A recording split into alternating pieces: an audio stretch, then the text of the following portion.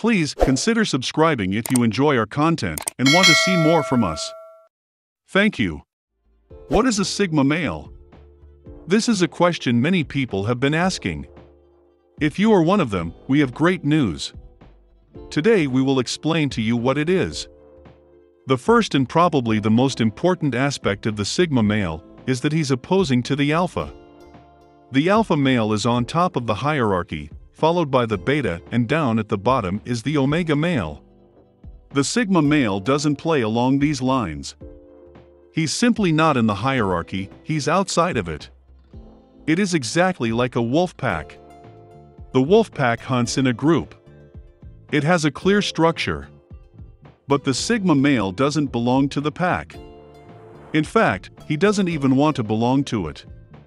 He just hunts alone. Simple as that.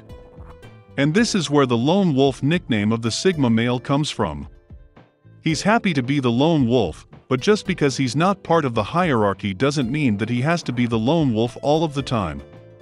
The Sigma male is highly adaptable, he can adjust to any circumstances. If he needs to be social, then he can be social. However, for most of the time, he's doing his own thing. He isn't adhering to any social norms or rules. The Sigma male is a stubborn man who insists the rules do not apply to him. Rules, in his opinion, are intended to be broken. That is why he can find himself in serious trouble. However, it can also have positive impact on his life.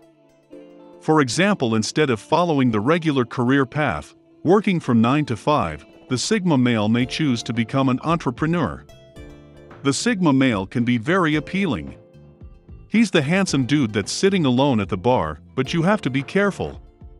There's a huge difference between the Sigma male sitting alone at the bar and the Beta male sitting alone at the bar. The Sigma male enjoys his own company, he loves spending time alone observing different things and making plans for his future. The beta male, on the other hand, is waiting silently for someone to approach him. He's hoping for girls to come to him, because he's too shy to make the first move. The Sigma male is often seen as an intelligent person. He values education and spends a lot of his time on learning new things. The Sigma male doesn't talk much, but when he does, he usually says something valuable or something useful. Therefore, people see that he has sufficient knowledge in multiple areas. He's broadly educated and not just focused on a single thing. This is the Sigma male. What's your opinion about him? Do you like him?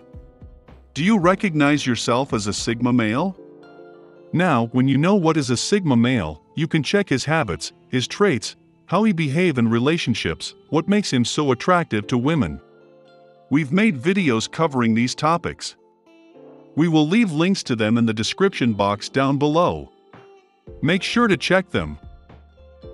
If you enjoyed this video give it thumbs up and share it with your friends. That means a lot to us in this way you are helping the channel to grow. If you want to see more videos like this hit the subscribe button and remember to click the notification bell. You can check our other videos as well. Thanks for watching.